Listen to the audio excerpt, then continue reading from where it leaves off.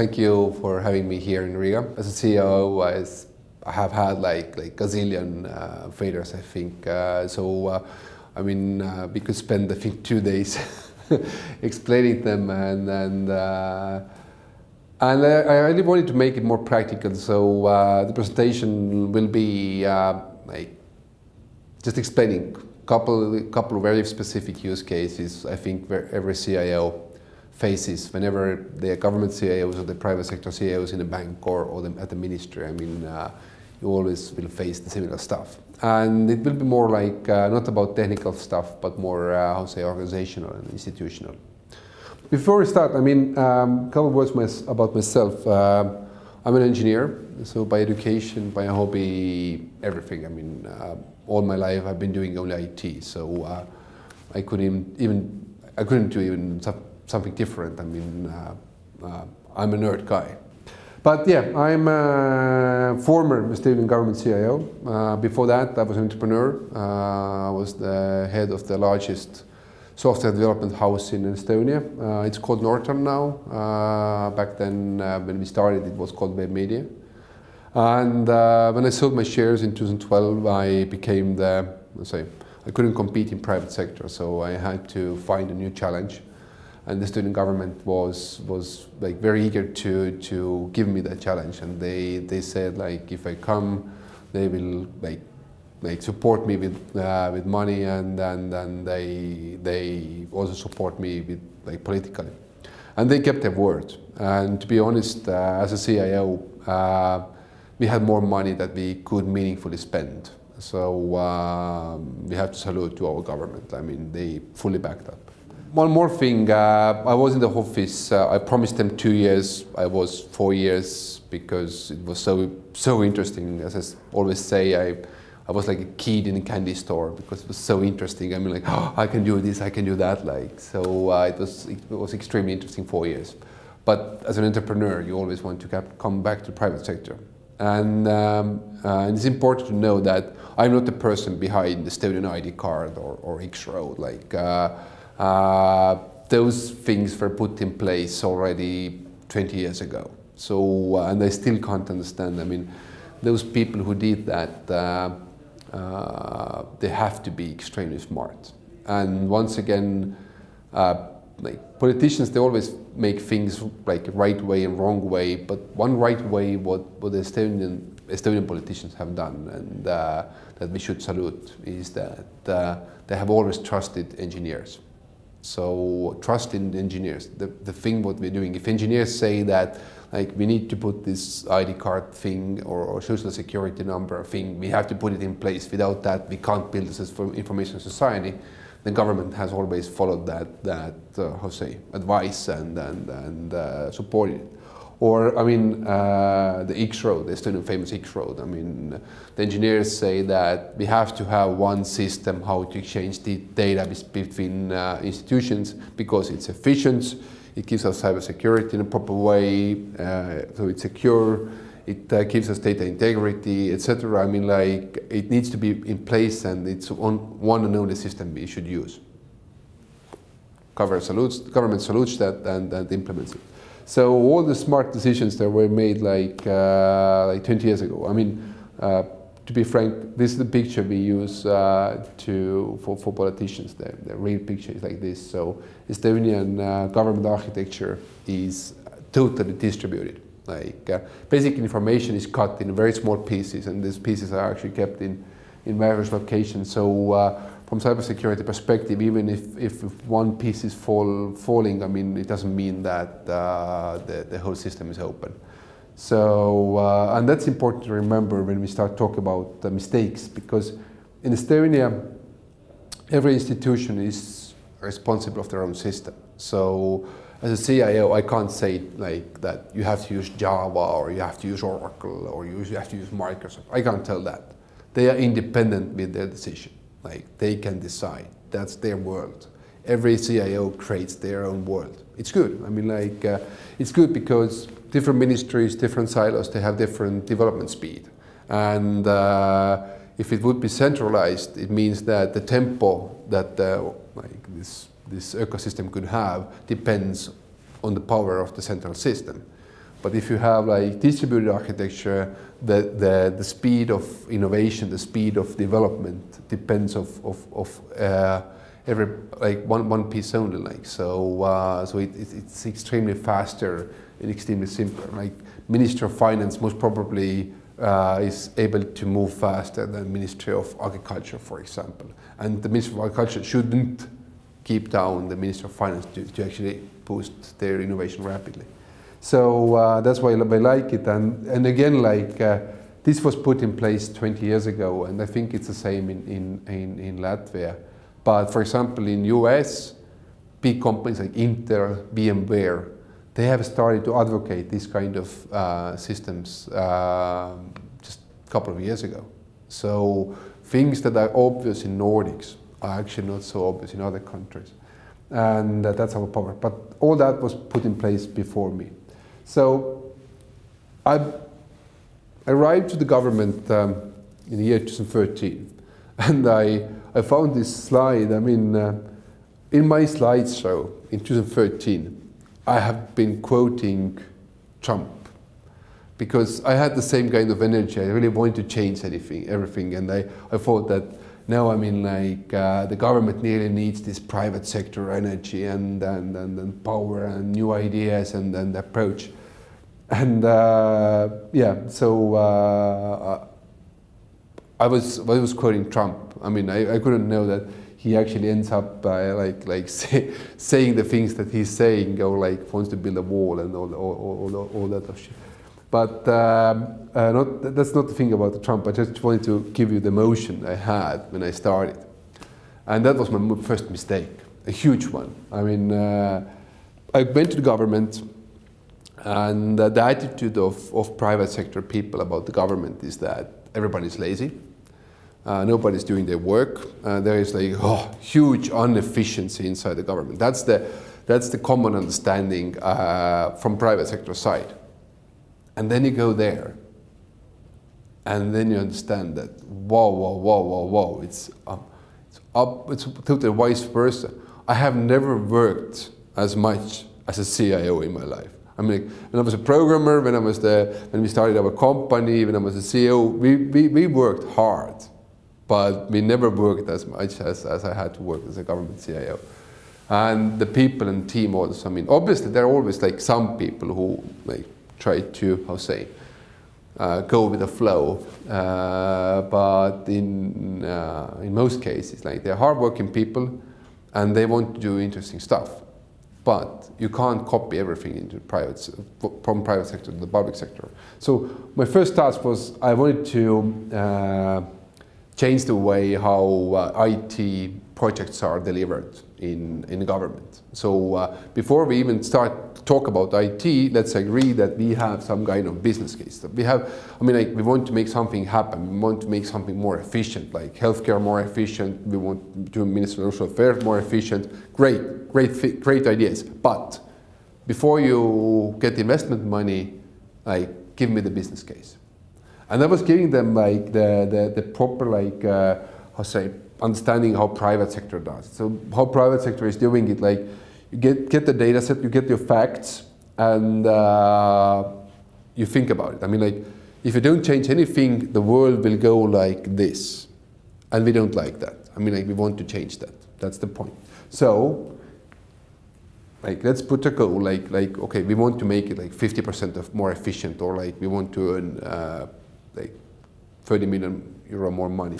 So we put a goal, and then we then we, we describe a scenario that what if we do an IT project? Uh, we expect that that that this this is this should be the outcome. That the scenario should be the outcome, and then we deliver it, and then we I mean like we, we like basically compare like if you don't do anything, it goes like this. If you try to do anything, it might go like that, but it needs that kind of money. So we compare and we get the business case. And then we decide, like, should we invest or not? And uh, whenever, I mean, like, we invest, we have the business case, we deliver, and then we have the results, and then we, like, learn from these results, and the whole picture starts again, like, like, a, like a closed loop. So, and always we can jump off and say like, we don't want to do that investment. So that's how private sector works. I mean like, we have a business, we want to grow or we want to change the way how we serve our customers. We describe, like, we do, if you don't do anything, like things don't get better. So we need to make a change, we, we need to, to invest, and then we expect a certain result. So, uh, so and I thought like that's the way how we should do, do it also in government. And I really, I, I, pushed it through. So that's the way how they, they, they, they work in Estonia. Like every ministry before they get any investment, they have to do very heavy justification. Before that, it was like uh, who shouted louder got the money. Like, but now we have to do the justification, which is great. But it's a government. So, uh, I mean, yes, it's possible to, in the end of the day, to measure everything in money. But governments are not only money about. Like, uh, if you save human life, uh, yes, we can say that like one human life means, let's say, one million euro for the for the government.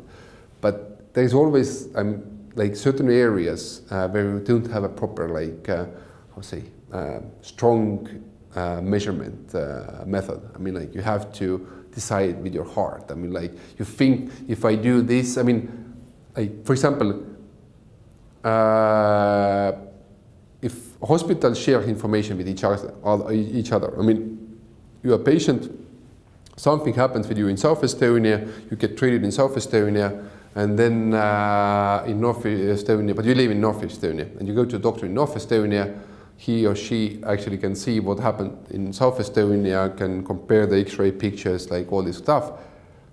We can say it makes increases the quality of, of, of healthcare because, I mean, it makes sense. I mean, like you, you, you, you look at it and then and, uh, it makes sense. But, but can we actually measure it? How much the healthcare gets better because of that, that hospitals are actually able to share information? And they can't do that. Or, I mean, uh, let's take digital signature. We know it's like way efficient compared with like uh, uh, physical one. I mean, you don't have to print out the contract, you don't have to uh, invite uh, a courier to take your contract to the other party, etc. I mean, like, like it should be quite obvious that that it, it's it's it, it's more efficient. But how much? I mean, like, can you give me a con concrete number, like uh, how much efficient? So, so, so many of those decisions and like way more compared private sector you have to do by heart or using your heart. And, uh, and it was funny, I mean, when I, when I introduced this system and the people had to start justifying uh, their, their uh, how to say, investment needs, that was the emotion I, I mostly felt. That was like a fat monkey, like, like like listening like okay i know you're lying but like continue. Because uh, the people who have never uh, forced to think on business terms they can't do that. Uh, so in the end of the day the way that, that we um, i'll say all these ministries and silos are independent in estonia but the way how to control them is that the cio office actually controls investment money uh, so CIO as always a saying if, if, you, if you get like investment or not. So uh, I didn't deal with this by myself. It's a, lots of uh, it's a hard work. So I had a whole team working with that. But uh, so it's good because uh, you can keep the cost down and uh, you can be very efficient. But you still you can't you can't rely on on the private sector principles only. So you still have to have a heart inside the government. So that was like the first big mistake. Even if I put up the system like in government, like you still have to have a heart. And uh, from the control perspective, that's I always suggest that it's, it's a good thing that uh, the governments where CIO is just a position uh, without real power, uh, they can't make a change. But if they control money, everybody wants to be a friend with the CIO. So it's a very smart move. So the second mistake, measure, measure, measure, measure, measure. I mean, if you want to govern, if you want to make a change in the system, or if you want to be a leader that understands the business and, and, and is able to, to uh, handle it, you need data.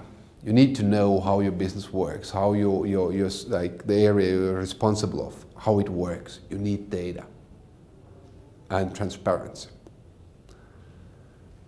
But with government, somehow they hate data. I mean, if you have seen uh, the, the famous BBC uh, uh, comedian uh, serial uh, called Yes, Mr. Minister and Yes, Mr. Prime Minister. So uh, they have a special episode about that, how, how much government officers hate data. Because in government, they are afraid of doing mistake. And some, but mistakes happen. We can't avoid them. Always mistakes happen. So uh, when governments uh, they think that if, if things are hidden, if, if data is hidden, nobody can blame them uh, because nobody knows. And uh, I was that was my, my second huge failure. Uh, that thing I was I mean like I was four years in the cabinet uh, working as a CIO, but I was not able to push it through. I mean, the, the, if you go to the Estonian Ministry of Economy data web page, you, you, I mean, like simple questions like, like how many people are using like our service, like e-services, or like, are they happy with the service? Like, uh, or like, how much the providing the service, how much cost. I mean, we don't know. And if you don't know, mistake happen. I mean, famous Estonian mistake that we have a service for Olympic winners that they have to apply for to get the support money. Like so, like never nobody calculate like Estonia small country. Like how many Olympic winners we have? Like do we have like one or three? I mean like why it has to be e-service? Can can it be a call center? Should it be a call center or like should be actually pay for one person uh, that actually deals with Olympic winners because we it's it's a so rare case like. So, and as, as, as, if you don't measure, you start doing lousy stuff like this uh, Olympic winner example. Like so, and I wasn't able to push it through. So if you go to the Ministry of Economy webpage, you see like uh, like there are like like many unfilled. Uh, basically, it's empty. We, there is like less information uh, on the screen and just like uh, mostly empty spots. And I wasn't able to push it through. And uh, but what it means is that even though I was able to push through the the, the, the, the, the way how we should like uh, invest and where we should invest and, and this business case based think, uh, thinking method if there is no data it's basically it's very hard to do the, the business case or justify the business case and it was a huge failure so uh, I know that new government already makes like does it better. Like there are like great tools on the market. Like uh, one of the companies I'm related now at the moment is called Plumbr. It basically answers exactly uh, those those questions like uh, what, what we, we, we lack. But sad, I'm not in the government anymore. So that was the second like mistake I chosen. Like the, the measurement thing is not working, and the CIO who is who is able to make it work in their like institution, like in a ministry or like department, is, is, is a hero. Uh, the first mistake, uh, monopoly. Governments have monopoly. So uh, the thing is that um, uh, if you don't like the service I provide as a government, screw you go to Finland. I mean, like, uh, you can move away if you don't like us. The point is that there is no competition uh, in, in, government services because there's only one government. And uh, that makes us lazy. If there's no competition, uh, even though we are, might be hardworking people, um, still, I mean, doesn't mean that we should care about our citizens. And that's the thing I see a lot like happening like in all countries. I mean, yes, we provide services. We provide e-services, we provide call centers, we provide uh, uh, back office services. But if you have a monopoly, you don't have a push to make it perfect. So most of the government services look like this. Yes, it's possible to jump from this stairs to that door, but it's bloody inconvenient. Like so, you should like, like, like, like make it happen differently. And another problem what governments have is that, uh, is that magic number, 2.6. Uh, 2.6 is uh, average uh, average connection point between the citizen and government per year. So uh, the citizen approaches government 2.6 times in average per year. And one of those 2.6 is taxes. So it leaves 1.6. So what I mean by this is that we can't talk about user experience uh, in government sector or in, e-services. Uh, how many houses you are building during your life? One, two, okay, let's say two. So, so two times you experienced uh, how to apply for construction permit. So uh, what kind of user experience is that, that you can say, oh yeah, 10 years ago I, I applied for this construction permit, I still, I still remember how to do that. I mean, think about like 10 years ago, uh, banks, uh, uh, they changed their skins of their self-services quite often. And it was a nightmare because you never could find like, okay, the, the, the, link was here now, where's the link now? I mean like, so, so, and in bank services that you actually use every week, with governments it's awful like, so, uh, I mean, applying for driving license, one one during 10 years, applying for ID card, one time during five years. Like so, so, uh, so there is no such a thing like, like government service. And, uh, and so instead of pushing everybody to do the e stuff, actually what you should do is you should like uh, get like the best service is no service. You're getting married. Let's say you're getting married, and uh, you change the name so you need new, new documents. How it works at the moment is that you go to the honeymoon and then you come back and then you go to the uh, passport office to get the passport and then you go to the driving license office to get the driving license. So contact, contact, contact, contact. Cost, cost, cost, cost, cost. Instead of that, I mean, we know that they, you're getting married. We know it like one month in advance. That it's called cooling down period. Nobody used that, like, but it's, it's called cooling down period. Like. And uh, we know that your name will be changed. So, like, why not to hand over your the documents like after the signature is given to the to the to the marriage paper? Okay, you say that uh, uh, somebody might say no. Fine, but let's measure. Let's measure how many people say no. And what you discover, less than one couple of 100 couples. So because one couple might, might change their mind, we torture 99. Why? It should be upside down. Same with taxes. Uh, in Estonia, 96% people declare the taxes electronically. 95% of those 96 don't change anything in the declaration. If they don't change anything in the declaration, can we just send them an SMS saying like, the amount of money you're getting or you have to pay is that much. If you don't act during the next 48 hours, we will do the transfer either way. Like so, uh, so we force to use system only that five percent instead of torturing again like 95 percent. And that's that's the that's the mindset change that you can't see in government because having a monopoly doesn't give you a push to make things better. And uh, and that's why you should knowing that you can't like you can't change that. I mean like you can't continuously make services better. It's, it's a better it, it's it's it's it, the better solution is actually get rid of those solutions. Like so i hate government portals. I'm i'm against government portals. I think they are a very bad idea why again this 2.6 times uh, if you digitize everything, in our government portal we have gazillion services, like way too many. And then even if you are the best usability designer or like UX experience uh, specialist, it doesn't matter. The people use it so rarely that there is no like pattern in their head how to, how to use that. So whenever they need to interact with the government, they don't go to government portal.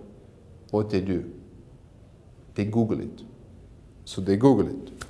And then, yeah, they might reach the government portal. But the problem with the government portal is that, like, let's say, here's the government portal, but the service is actually handled by Ministry of Internal Affairs. So the further the service is from the owner, the less is the, the, the, the, the poorer is the quality.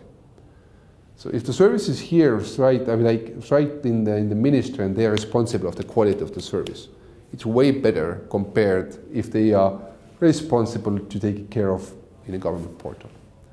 So uh, it's a way better solution if, uh, if uh, it, like ministries or institutions, they provide specific solution, like very, really well like thought through solution and with the best usability to the user according to their own needs.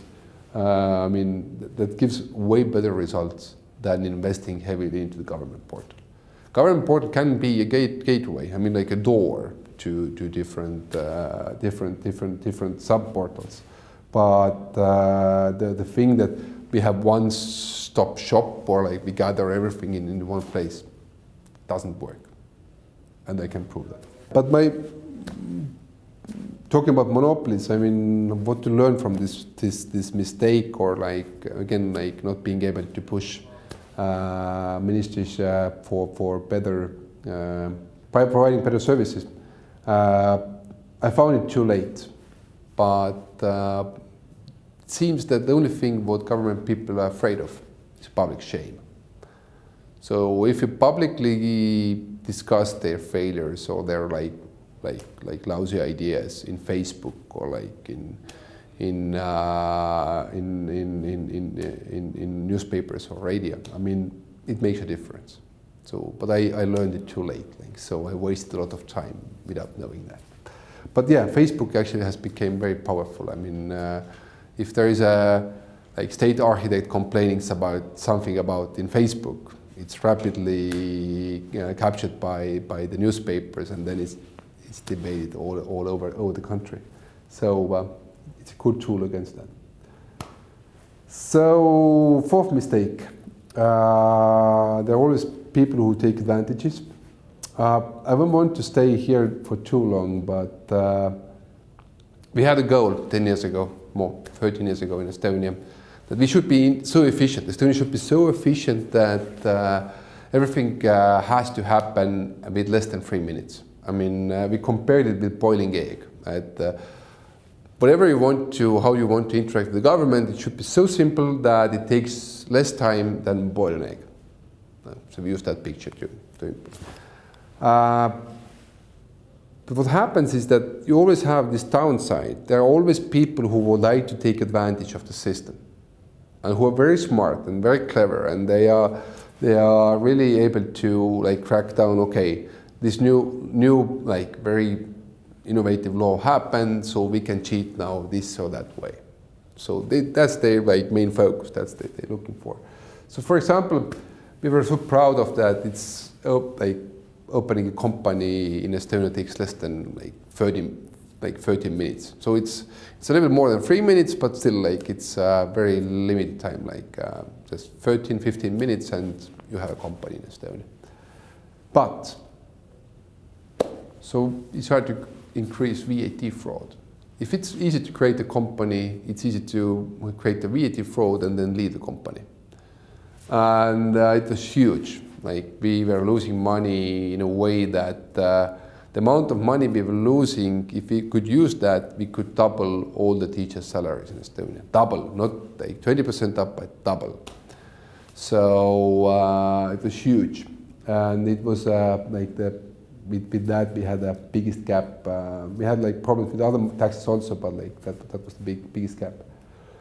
And um, to solve that, I think in Latvia you have the same kind of solution, but uh, the problem of the governments is that they don't have data. They can't understand how the money moves and where, and it's very hard to control that.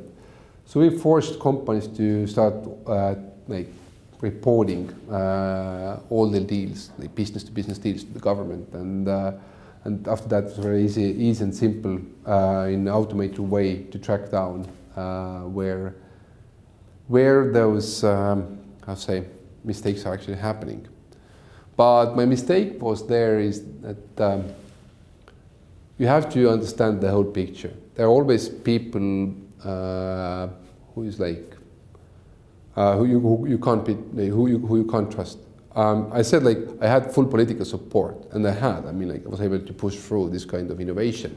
But at the same time, there were well, like people who uh, like loudly, proudly advocated against that uh, because if you take away hundreds of millions of euros from the market because of the you stop the fraud, it's painful for somebody. And uh, for those who is painful, they will find a way how to lobby or support a proper idiot uh, who actually starts to advocate against that. So whenever you do something, uh, uh you have to know the full picture, and you have to know that uh, that I'll say people who are actually jerks or like who actually cheat, they can actually be very vocal, and they can go against you and you have to be extremely strong, like uh, to still continue your road and push the things through. So, uh, so that was my mistake. I, I, thought like if you have like full political support, it's easy to push things through. Um, it's not. I mean, uh, with e-residency, for example, uh, the, cabinet, the cabinet decided that uh, um, it's now legal to open up bank account uh, without physically coming to Estonia.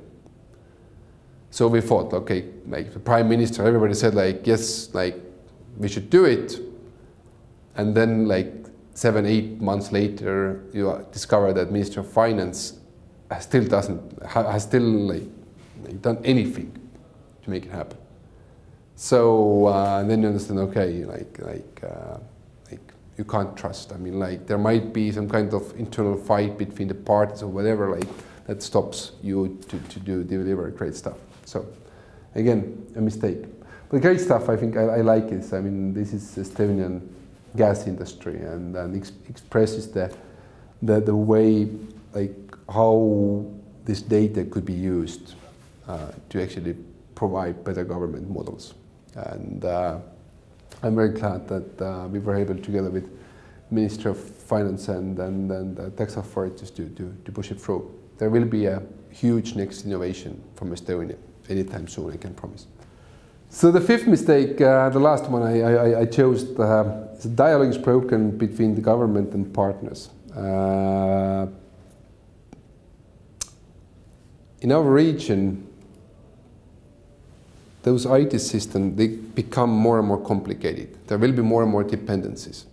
So uh, governments are not able to attract the best talent. So uh, you still have to rely on, on, on partners.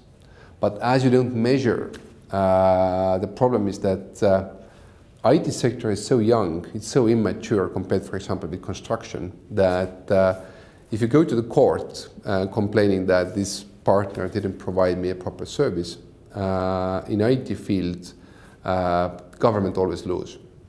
I mean, always the partner can say that no, scope was changed, you know, like this button here, like it, need, it was needed to like move like three pixels to the right. I mean, like you know that it's like it's a minimal minimum change. Like uh, it doesn't cost anything. No, I mean it was the change of scope. I mean, like you you always lose that, and uh, and the outcome is that uh, if you don't measure, if you don't have a, a, a proper project management on top of that, uh, it will end up with arguments, complaints, and, and, and everything. And uh, I think this should be restarted, like the way how you communicate, how you do like, your partnership. I mean, I even I come from private sector, so I even developed, uh, or like my team developed, uh, more like more open, more better uh, like contract template for the private sector. But they started to use that. So, uh, I mean, we just saw in Estonia a case where the largest IT project, one of the partners who had to de deliver that, just walked away on, in the middle of the project. And you can't change that, like you can't like avoid the situation. So, uh, so the same thing, I mean, like why we use this stuff, for whom we're doing this stuff, how we measure it, like uh, what's the benefit we are giving. This needs to be the goal not only for the ministry or department, should be goal for the partner. And like, like there should be a system to, that supports that. And I, I was failing to, to implement that. So a, uh, that's a failure. And uh, yeah, as a conclusion, uh, what I can promise we have been very innovative in Estonia during the last four years, and we had we created extremely interesting and, and fun stuff. But the society always more wants more, so they there always will be a hunger uh, for new solutions. So. Uh, so if you're CIO and if you think that, okay, I will do this reform and that reform, the third one, and after that they all should be happy, I can tell you, they won't be. So even if you deliver them like totally new type of sol solution, like out of the box solution, like that guy, I really love him. I mean, uh, that's the like motto I'm I'm I'm living by. So uh, so if you if you want to solve complicated problems, like you can't use the same mindset that we use to create those problems. Like so, we have to have different mindset. And it has led us to like, like, like totally new type of uh, innovations, like like data embassy that, that they can actually reboot the country from the cloud. Like, and we can survive as a nation even if we don't control our, our, our, our country, or like land. So, yeah, it might sound naive, but, but if you think about if you think about the future, think about like the, the world is developing uh, itself, uh, how like like the physical world is not like the physical location not so important anymore and people always buy better services like where it's more convenient for them. I mean, 20 years ago, the best way to buy uh, music was to go to the local uh, music store and buy a CD. Do you know where to buy a CD today? So nobody buys CDs. Like you pay 10 euros per month and you get like unlimited uh, uh access to the, all the music in the world through Spotify. So you chose this solution because it's more convenient. Uber is more, or Taxify is more convenient compared with old taxi system. Credit card is more convenient than cash. I mean, you go for more convenient. So the same will happen with government services. People will go there where it's more convenient and practical and better. I mean, if I can get like uh, education from MIT without leaving Estonia, compared with any other education. I should, I mean, I, I, I could use it. I mean, I, I could get the MIT education without leaving Estonia. I could get better healthcare with, in telemedicine if there is a better expert out there. I mean, what it, what it gives us, I mean, there is a continuous competition between the countries. And uh, people will start buying government services in the same way how we buy music. Where it's better, where it's more convenient, we buy it from there.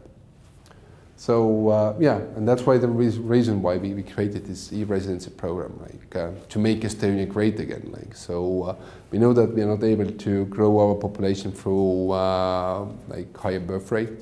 We know that we are not able to grow our population through immigration, but um, so but we want to grow. We need to grow because if you don't grow your population amount of people in your country, you can't create more wealth. You need more people. So that's why we invented this Estonian e-residency program that allows foreigners to become like so-called e-Estonians. And if, as we have digitalized everything in Estonia, like they just can use those those tools uh, like to run their own company, even though if they live in Tokyo or Berlin or, or Washington DC, doesn't matter. Yeah, and that, that's the global trend. Like people become more and more global. Today they live here, tomorrow they live there, and uh, they need somebody who takes care of them. So, uh, and I'm asking from you, I mean, like, like uh, if they, today they live here, tomorrow they live there, what's the best, like, how say, and they want to run the company. What's the best solution? Company in Luxembourg, company in Estonia, company in Delaware. I mean, they will choose. But it's not, it's not going to connect with like, like physical location. They will choose like the solution that gives this supports their flexibility to live in one place and another place. That's what will happen. And we were, with this project, uh, obviously, I think it's a failure. I mean, I actually want to reach higher numbers uh, already today. We have run it like two, uh, two years now, a little bit more. And uh, we have like around 20,000 e-residents and uh, 1,500 companies. I would actually want like to see at least double of those numbers, but they're still good. And uh, I think about it, it's it, we have like uh, got three percent addition to our uh, population mean, like working age population and to our companies. So we have grown the market. We have shown it's possible. So now it's a question of scale. Now it's a question of marketing, better service, and we know it works. Like there is a need for that. We know that. So we just need to make it happen now. So I mean, continue to think big, and uh, whoever like watches this video, I mean, uh, was just a fraction of, of uh, stuff we do in Estonia.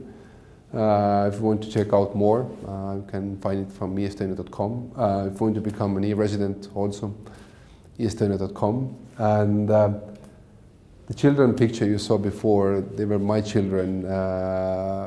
That's how they look now. So it's different. And so my message is like, don't stop doing babies. Continue to do babies also. Like even if we are go virtual, the visual, physical world remains, and, and it's it's important, and we have like a, a laugh and joy around us. Like so, thank you for having me here in Riga. See you soon again. Ciao.